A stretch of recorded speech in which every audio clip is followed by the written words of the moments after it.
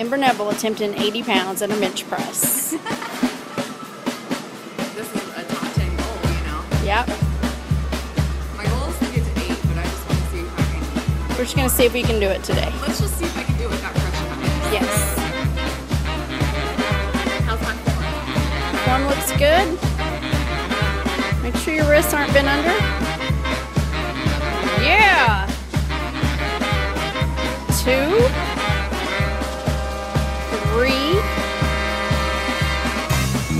Four. Five. Let's check out the weight on this bad boy. We're going, we're going, we're going. Yeah! Do some muscle pose.